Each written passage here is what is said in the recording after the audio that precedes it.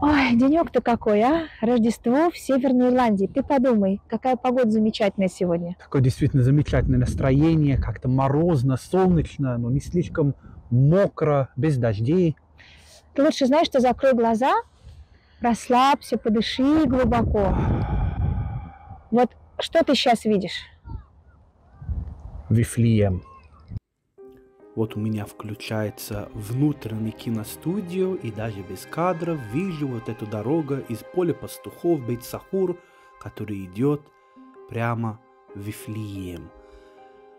А, вот старый город, и вижу очень хорошо вот эта дорога, которая ведет нас, как волхвы, в сторону места Рождества Христова. Улица звезды. Я ощущаю теплое солнце на своих щеках, вижу звезду вот такую современную, думаю о Вифлеемской звезде и те самые ворота. Я их так хорошо помню. Ворота старого Вифлеема. Конечно, эти ворота 15 века, но стоят-то они на месте тех древних ворот. И поэтому без преувеличения можно сказать, да, этой дорогой шли волхвы и запах хлеба я уже чувствую. Там в Вифлееме всегда пекут хлеб, потому что город называется Бейтлехем. И хоть город палестинский, арабский, но палестинцы сохранили древние библейские названия городов, они их не меняли, не сменили. И вот город называется Бейтлехем. То, что интересно, потому что по-арабски лахм не означает хлеб, а мясо. А на иврит лехем – это хлеб. По-арабски хлеб будет хубез, хубез, а не лехем. Поэтому дом хлеба по-арабски дом мяса, Бейт-Лехем. Получается город палестинский, а название сохранили древнебиблейское. А вот запахи чувствуются уже совсем-совсем близко. Ну что же, в этом есть смысл, место, где слово стало плотью – так что Бейт-Лехем название многоэтажное. А вот и наши любимые сладости – каршиле и другие рассыпчатые, арабские, ароматные, пахнущие кунжутом, орешками. Сладости, кстати, постные. Мы их ели обычно весь рождественский пост. А вот мы у входа в храм.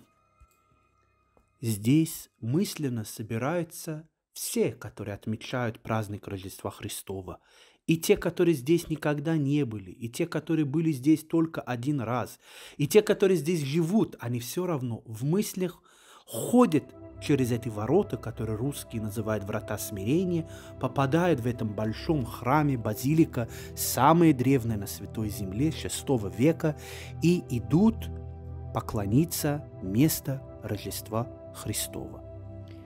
Сколько бы раз ты здесь не проходил, хоть в мыслях, хоть в реальности, всегда учащенно бьется сердце.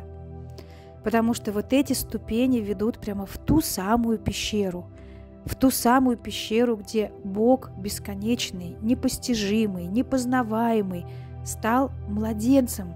Вот каждый раз, когда я рождаю своих младенцев, я думаю о Рождестве. Вот он был таким же крохотным, беспомощным, на руках Божьей Матери. И было это здесь. И также я каждый раз думаю, вот я снова вижу это место, место, где родился Христос, Вифлеемская звезда, отмечают его. А что-то изменилось во мне, в моем сердце, в моем сознании. Это событие как-то меня сделало лучше перед Богом.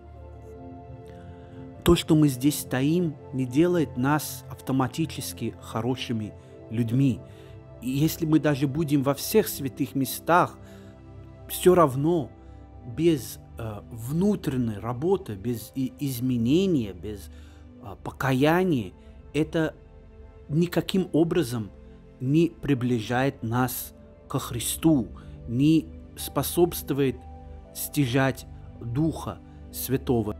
К сожалению, все, кто бывали в Вифлееме, на рождественском, праздничном, ночном богослужении, увы, могут рассказать о драках, о столкновениях греков с армянами, о том, как паломники локтями пробивают себе дорогу, чтобы стоять поближе или обязательно попасть на литургию именно в пещеру. Но и в нашей повседневной жизни ведь мы можем сказать то же самое. Как мы встречаем Рождество? Действительно ли мы стараемся всех змей из своего сердца вытравить перед этим праздником и убрать и прибрать свой внутренний храм, свои внутренние ясли, в которых должен родиться Христос. Но вот, а все-таки, тем не менее, согласись, Рождество здесь, в Северной Ирландии, и Рождество там, в Иерусалиме, в Израиле, совершенно две разные вещи. Ну, абсолютно. Дело в том, что здесь, конечно, Рождество, рождественские украшения, елки видны во всех городах, а вот в Израиле и в Палестине можно сказать, что это только в определенных, я бы даже сказал, гетто, вот в христианский, арабский гетто, как бы определенных районов, там и Санта-Клаус, и огоньки, и радости, и все это. А в других го- городах Израиля даже можно и не знать, что это Рождество. Ну да, это связано с тем, что Израиль все-таки страна иудейская и мусульманская, и христиан там ну совсем-совсем мало, меньше 10% да, населения. Но дело не только в этом. О характере тоже можно поговорить. о Характер характере праздника. Праздника. Вот да, я вот как раз, знаешь, скорее даже думала об этом. О том, что вот э, в Израиле в основном Рождество это, естественно, Вифлеем. Да? Понятно, Христос родился там. И любой человек, даже если он боится или не может поехать в Вифлеем, или не хочет поехать в Вифлеем, но если он христианин, то он, конечно, знает, что Вифлеем где-то рядом, и что он живет в той стране, в которой родился Христос, то есть на той земле, на которой родился Христос. И это очень важный момент, и поэтому акцент, конечно, весь на Вифлеемскую пещеру, на богослужение там, и вообще на сам город Вифлеем, и на само вот это ощущение исторического события, реальности исторического события Рождества Христова. А вот здесь, в Ирландии, акцент на другое. Здесь акцент на творение добрых дел перед Рождеством и в дни Рождества. Да, это определенно, я бы сказал, тоже новая традиция, которая появилась в англоязычном мире именно вот середина 19 века благодаря повести э, Christmas Carol. Рождественская колядка Чарльза Диккенса. Наверняка читали про жадного э, богача Скруджа, который не праздновал Рождество, который считал, что если люди бедные, то они этого заслужили. Значит, они Против плохо милостыни, работали, значит, они плохо учились, он был против милостыни. И вот в Рождество ему явились три духа. Дух прошедшего Рождества, который показал ему его детство, дух нынешнего Рождества и дух будущего Рождества. И он узнал, что он умрет в эту ночь. И вот с чем он предстанет пред Богом. И он проснулся другим человеком после всех, всего того, что ему эти духи показали, и стал творить милостыню, и стал самым э, щедрым и добрым человеком вообще у него в городе. Но вот у нас перед Рождеством э, люди не просто делают рождественский Christmas шопинг для себя, нет, покупается огромное количество подарков для э, родных, близких и дальних, для всех знакомых э, сотрудников по работе, и очень много жертвуют на благотворительность. Повсюду бывают, конечно, разные сборы тоже благотворительные, собирают и еды, и одежда, и денег, как несколько, я бы сказал, даже несколько месяцев до Рождества, особенно, что сейчас вообще-то в мире много кризисов из-за во- войны, которые происходят повсюду, из-за разных других причин. Тоже, вот, да, был ковид, ну, вы все знаете, как бы, сейчас каждая страна чувствует себя, что она находится в самом худшем моменте, а на самом деле мы все, как бы, все страны сейчас переживают такие или иные э, потрясения. И, конечно, совесть у людей просыпается именно в Рождество, что как же так мы будем праздновать, кушать вкусную там индюшатину, мясо и, и так далее, давать игрушки, а у других людей даже нету достаточно денег, чтобы топить домов. Поэтому пытаются каким-то образом э, помогать, да? Да, пытаются, и знаешь, это не так уж плохо, если бы люди действительно пытались помогать друг другу, а еще если бы войны прекращали к Рождеству. Вот такой вертеп поставили а, в Вифлееме в этом году вифлеемские художники. И ты знаешь, хотя мнения есть разные, но вот мне показалось, что это очень отражает духовное состояние, в котором люди встречают этот праздник. Вместо того, чтобы наше сердце было как уютный, теплый, э, чисто прибранный вертеп, в котором бы родился Спаситель, мы встречаем его взрывами, разрушенными зданиями, колючей проволокой и вот таким вот уродством. Не думаешь?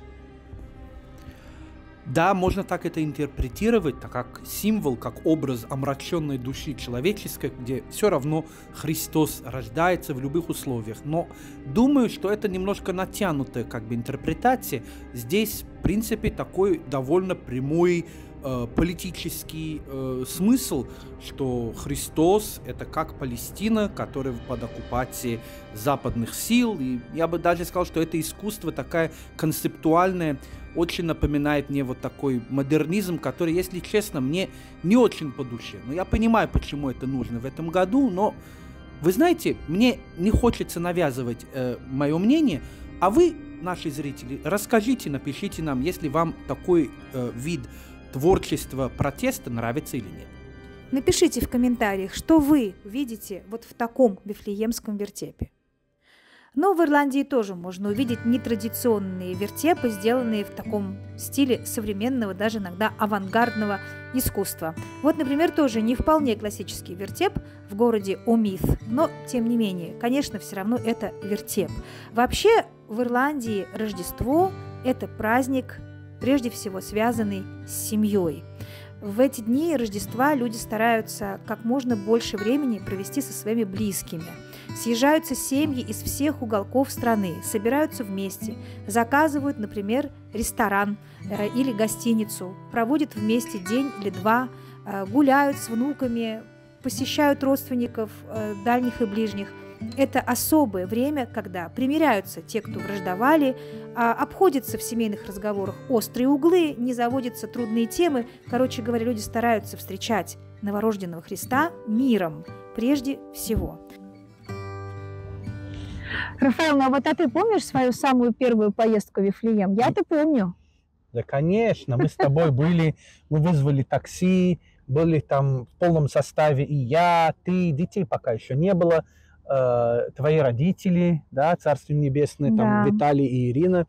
Эм, мы жили тогда вместе э, в Северном Иерусалиме, то есть на самом деле это даже не- нельзя сказать Иерусалим, но это Иерусалим, но это такой район, который находится, по сути дела, под Рамалла, да, вот между палестинской автономией и Иерусалим. Да самый любимый мой район вообще. Это Ох. моя, можно сказать, вторая родина. Пизгадзеев. Ненавижу этот район, Пизгат Владимировский я его называл. Но это потому, что он назван в честь Же- Зеева Жаботинского, но он вообще-то был евреем из России. Жева Заботинского. Зеев Жаботинский Жеев. был вообще-то Владимир Жаботинский. И поэтому Рафаэль район прозвал Пизгат Владимирск. Но это наши с тобой внутренние Это наш. Вифлеем. арабский таксист, потому что Вифлеем израильский таксист не может ехать.